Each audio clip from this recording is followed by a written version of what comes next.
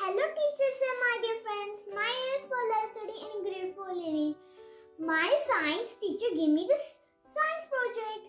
This is the healthy food project. This is the food have five parts. Carbohydrate, fats, proteins, minerals and vitamins.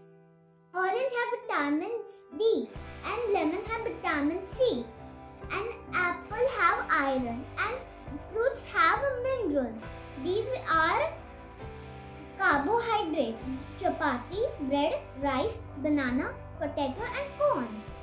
These are fats, butter, ghee, nuts. And this is our protein, proteins food, egg, chicken, milk and peas. Water is the most important for us. We must drink 8 to 10 glasses of water every day. Friends. Bye bye.